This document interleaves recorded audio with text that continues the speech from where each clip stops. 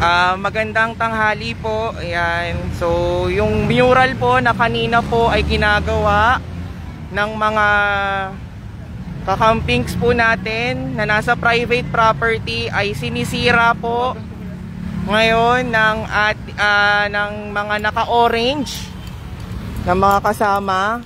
Binababoy po nila yung ating private property. Ah, i-share nyo lang po ng i-share kasi pinagpaguran po namin to, pinagpondohan po namin ng aming mga ah, pinupondohan po namin to ng aming sariling pera, pagod, lakas, tapos ganito lang po yung gagawin. Ginaganito po tayo sa isang panahon na dapat malaya tayo mag-express ng ating freedom of expression. Ganito yung ginagawa nila. Private property po ito, pagmamayari po ito ni Benjamin Gonzales. Hindi po ito pagmamayari ng kung sino man. Ito po ay pagmamayari ni Benjamin Gonzales. Ayun po si Benjamin Gonzales. I-share nyo lang po ng i-share. Please po, paki-share po kasi kaninang umaga po kami dito, kahapon po, maghapon po kami. Higit isang buwan na po kami nagpopondo para dito tapos ganito lang po yung gagawin nila. Please share, paki-share po. Wala po kaming kasama ngayon, iisang media pa lang po. Ma'am, salamat. Yan, isang media pa lang po yung kasama namin. Ganito po yung ginagawa nila. Kami po sa Las Piñas for Lenny, kami po ay isang volunteer organization lang. Ayan po, sumusuporta lang po sana sa gobyernong tapat, sa tamang pamamaraan. Pero nakikita nyo po, ito yung ginagawa nila sa atin. Paki-share lang po. Tumindig po tayo, pa-share lang po.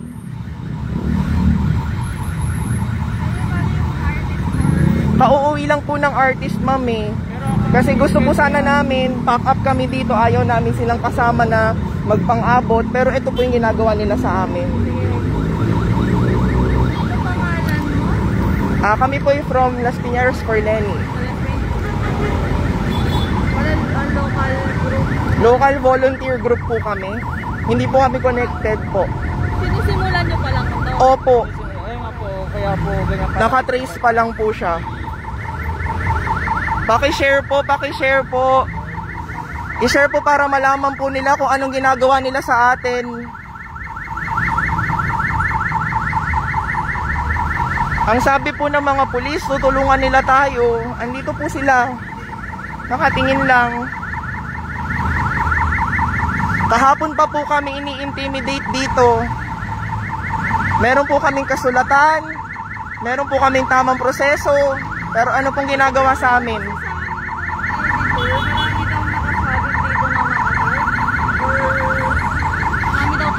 Wala pong tarp dito. Wala pong tarp. po talaga yan. And this is a private property. Yung nakikita nyo pong nasa puting tarpaulin, siya po yung may-ari nito. Ah.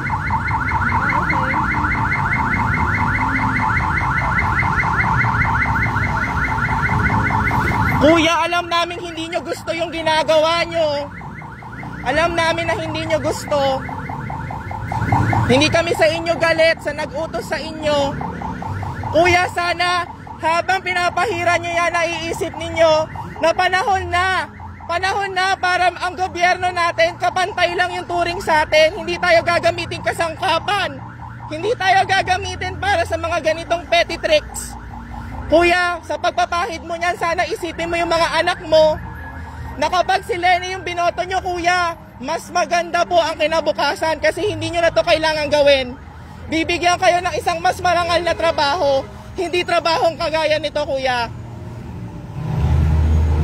Okay lang po.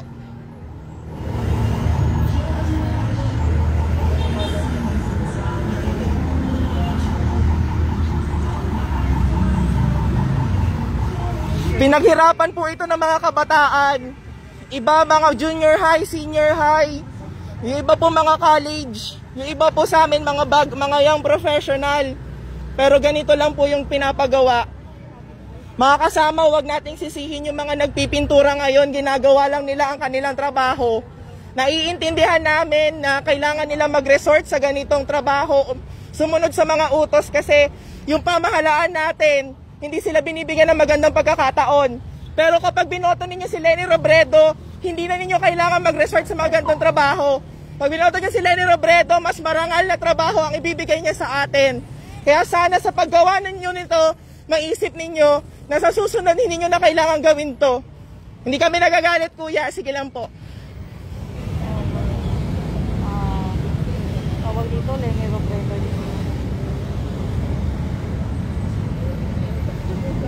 Kuya, i-share ko na sa lahat ng daily groups eh, para lumalat lahat.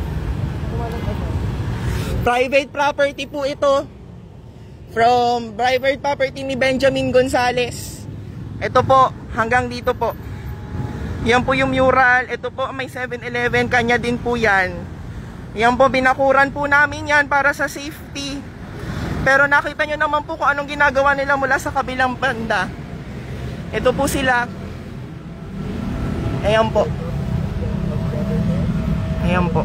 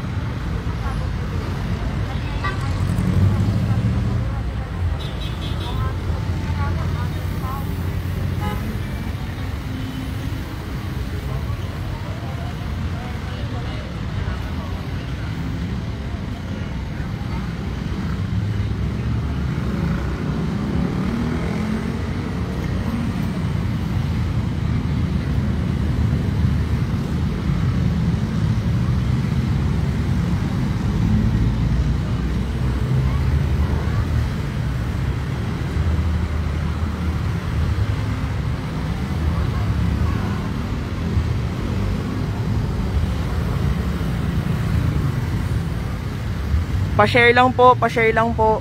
Pa-share lang po ninyo. ah share nyo lang po ito sa lahat po ng grupo. Nagbigla rin po kami. Pack up na po kami ng 12 o'clock.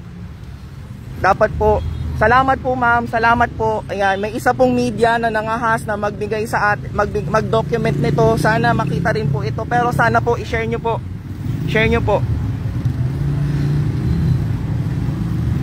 Yan. Question is, nagpaalam ba kayo sa owner bago kayo nagpunta? Of course po, nagpaalam po kami. Lahat po may dokumento. Ang owner po nito ay si Mr. Benjamin Gonzales. Ayun po yung kanyang tarpaulin. Ayan po ang kanyang tarpaulin. Meron po kaming kasulatan, ma'am. Meron po. Yan.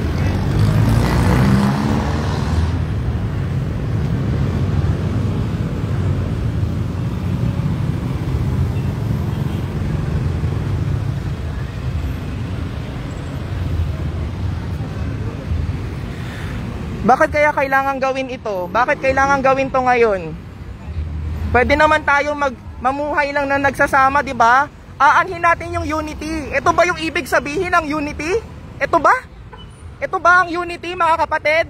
Ito ba 'yon? Kung ito ang definition ng unity, baka may ibang diksyonaryo na ho.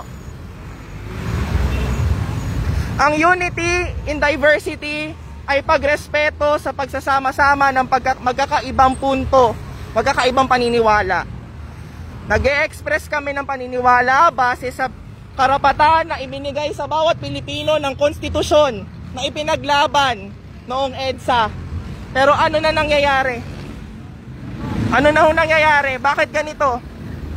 Bakit yung pinaghirapan ng mga kabataan, pinondohan ng sarili naming pera, marami sa mga kabataan, working students po.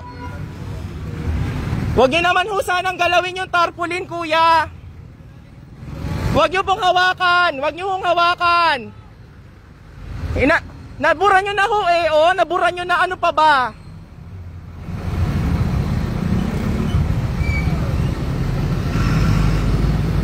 Tama na, nabura niyo na, 'di ba? O, burado na yung muka.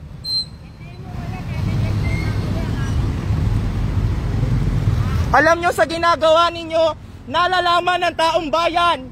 Nalalaman ng taong bayan kung anong klaseng pamumuno kung sakaling kayo mananalo. Ganito ba natin sisiilin ang maliliit na tao? Hindi ba ang gobyerno ay for the people, of the people, at by the people, nasa na ang boses ng mga tao? Nasaan? Unity? Ito ba ang unity?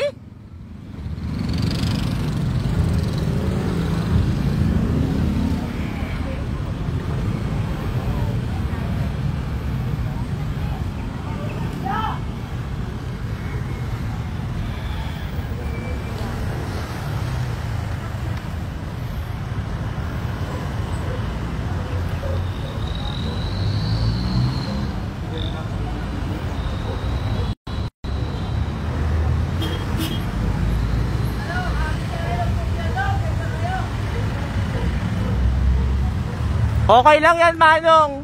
Hindi nila kasalanan, napag-utusan lang sila. Pero babawi tayo sa Mayo. Ginagawa nila. This is a private property of Mr. Benjamin Gonzalez. Running for mayor. Yes, he is. Bakit ganyan ginagawa nila? Eh, sino po sila? Hindi ko po alam pero tingnan nyo na lang ho yung mga t-shirt na suot nila yan, no?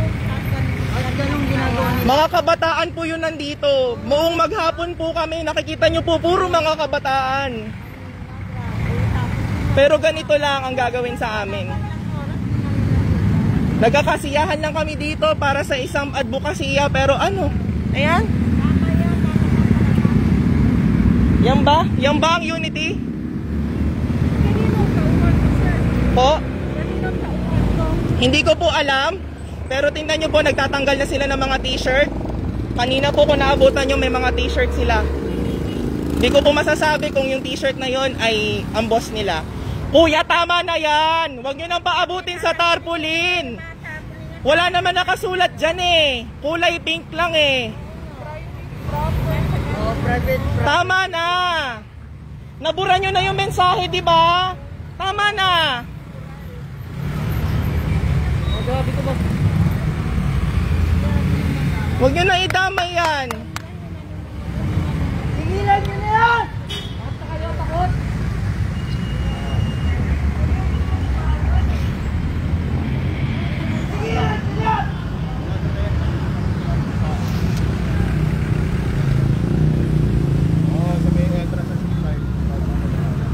Ganyan sila katakot. Kailan yung nego? Hindi pa nag-umpisa! Ganyan lang yung ano?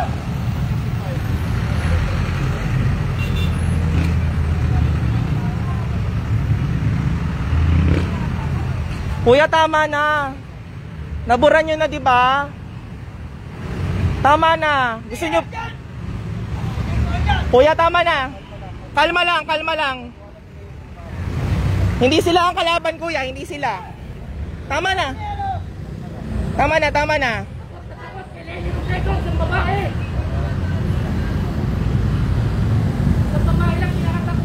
Kuya, tama na. Nabura nyo na eh. Tama na.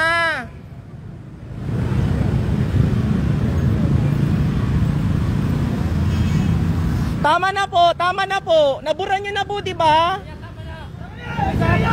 Tama na. Nakikiusap kami, tama na. Tapos na, nagawa nyo na. Okay na yan. Kuya, nababot na po. Tama. Iusap po. Pinabubura ba sa inyo lahat? Ano ko gusto sa inyo, kuya? Gusto nyo ba dito bumaba? Tama na.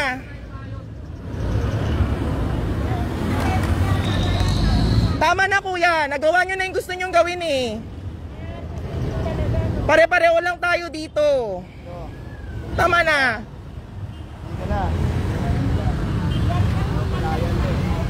Ito rin po gustong ipabura eh, kaso malayo po ito sa ano fence at saka mataas. Ang likod po nito ay Paseo Verde na kaya hindi ho nila mabura.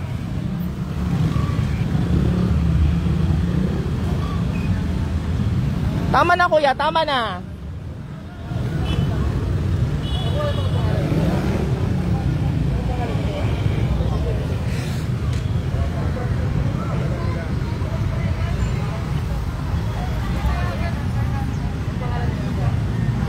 Actually, may-ari na ito kasi yung 7-Eleven na ito. Yung lupa na ito, si Benjamin Gonzalez po ang may-ari. Yan po na nagbigay sa akin ito. Bali, nagpaalam po kayo sa Telephone lang po Ah, sa nagtatanong po ng exact location, nandito po kami ngayon sa kalye ng ah, Diego Serra, P. Diego Serra Avenue, kanto ng C5 extension sa may ginagawang LRT. Ito po ay ilang metro lamang o isang kilometro siguro ang layo sa venue ng gaganapin po na event mamaya. Nagpasubali po sila na traffic daw po kasi may event daw po sa Datent. So, yun po, ah, kami po yung nag-pack up ng 12 o'clock, pero ito po yung ginawa sa amin. Ito po. Nandito po kami sa kanto ng Kalye Padre Diego Serra or Quirino Avenue. Ito po yung ah, nakikita nyo yan. Yan ay C5 extension papuntang coastal. Pasensya na ho, hindi ko ma-set into public. Hindi ako marunong. Paano ba ito?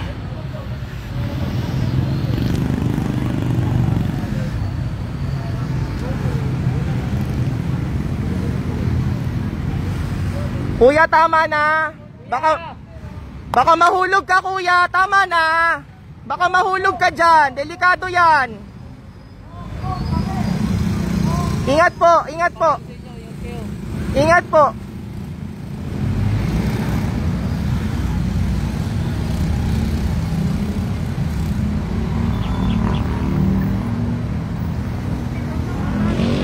Hindi rin po namin alam kung sino sila. Kanina po naka-orange shirt sila. Kung sisilipin po natin, nagpalit po sila ng damit kasi tinatanong ho ng media kung kanino silang tauhan. Pero pwede ho nating silipin. Ayan ho. Ayan. Ayan sila.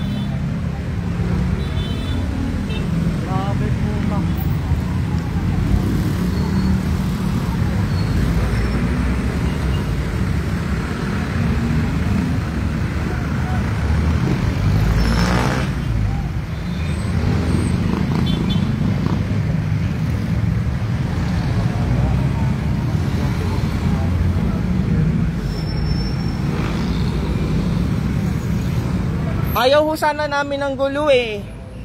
Nangangampanya ho kami ng tahimik. Opo, baka kanina ka natatakot sa safety namin, pero kung nakita nyo lang po, higit sa isandaan at limampung mga kabataan na po ang pumunta dito mula kahapon hanggang kanina. Mga kabataan na yung iba hindi pa nga bumuboto eh. Yung iba first time voters. Senior high school, junior high school, college. Tapos sasayangin lang yung pagod nila. Ganto lang ba yun? Ganto lang ba yung pagod ng kabataan? Nakala ko ba kabataan pag-asa ng bayan? Anong ginagawa nila sa atin? Ayan, tumigil na ho yata sila pero nakaabang pa po sila sa kabila. Ayan ho sila sa kabila. Salamat po sa Daily Tribune. Sila lang ang nagko-cover sa amin ngayon. I-share nyo lang po ng i-share hanggang sa makarating. Kailangan nating isend yung mensahe na to. Lalo nila tayong sinisiil. Lalo lumalakas ang mga boses natin.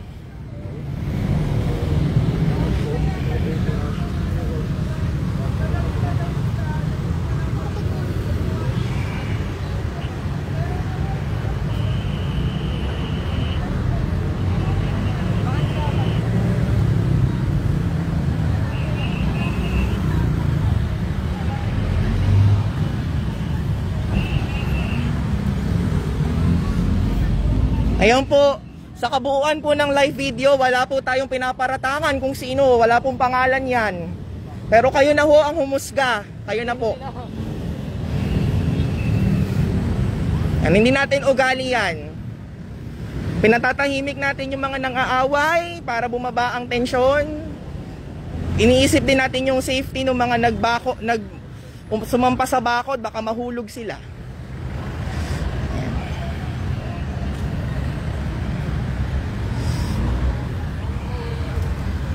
Para sa mga kamag-anak ng mga nakita yung mga mukha, hindi namin sinasadya, alam namin hindi nila kasalanan.